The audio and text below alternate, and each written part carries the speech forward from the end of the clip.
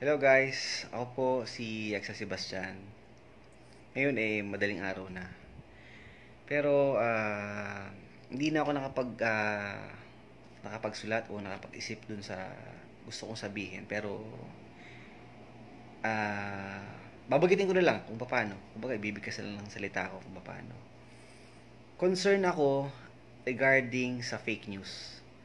So, dun sa tao na sasabihin ko ngayon, yung topic na sasabihin ko, hindi ko siya kilala personally, hindi ko pa siya nami-meet, ah, hindi ko alam kung paano siya mamaran, hindi ko alam kung kung ano yung buhay na tinahak niya. Maraming, kasi merong ibang side ng kwento, syempre iba yung kwento ng iba, iba yung kwento niya, so iba yung tignan ng ibang tao, iba rin tignan ng ibang side ng mga tao. So parang, ang sa akin lang, ang concern ako, ulitin ko, yung about sa fake news. Okay.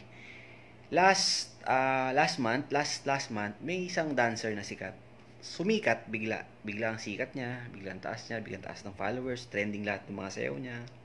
So siguro kilala niyo naman kung sino siya. Tapos uh, lahat naman natuwa, lahat naman nakinabang doon sa mga sumayaw. Iba may mga talagang hini-hate siya pero normal 'yun eh. Hindi lahat na hindi lahat ng tao may please natin eh. So ako, nagmamasid lang, tumitingin-tingin lang. At uh, hanggat sa bigla na lang nagkamali yung tao, tapos biglang nabash. So, pinapag ko lang din. Hindi ako nakikialam naman sa kahit ano.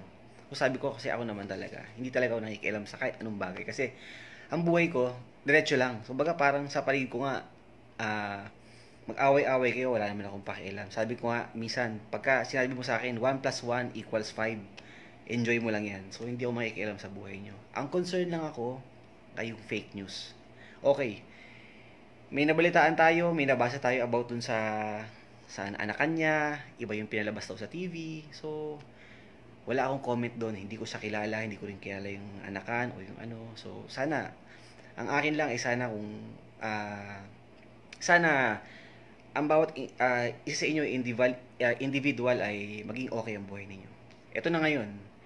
Dumaan ulit sa wall ko, kasi kada araw syempre dadaan sa wall dahil sikat nga siya dumaan sa wall ko, nakalagay doon parang uh, hindi masama maging selfish.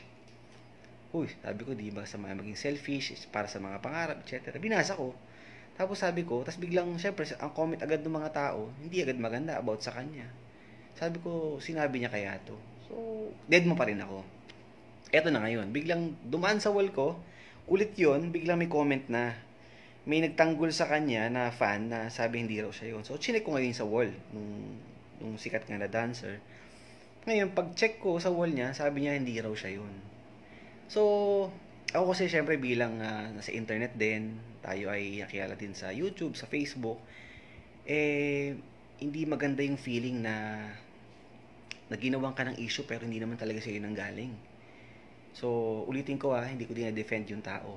Concern ako sa fake news kasi baka mamaya, ito ay mangyari sa'yo mangyari sa inyo. Maaaring mangyari sa inyo. Yung gagawa lang ng isang balita, hindi mo naman sinabi, pero ang daming tao nag-share, eh, 10,000 shares yata.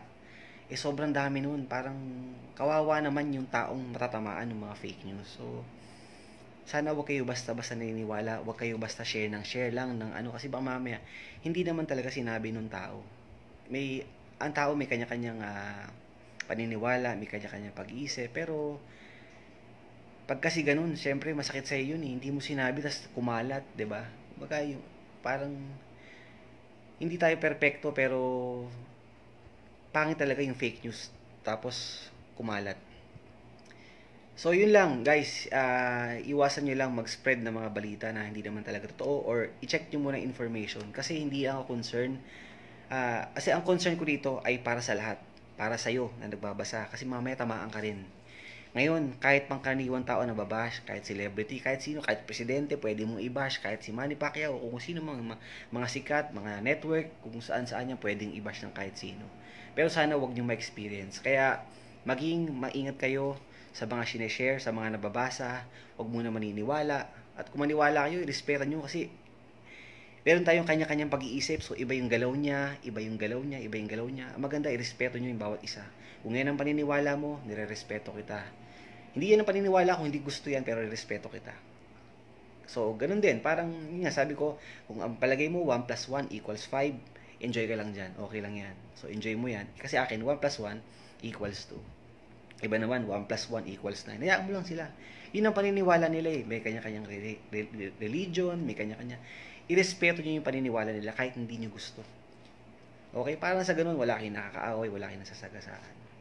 Yung sa akin lang, eh concern lang ako sa fake news kasi baka mangyari ito sa iyo, sa pamilya mo, sa anak mo, o kahit kanino man. Mabuhay kayo and God bless po.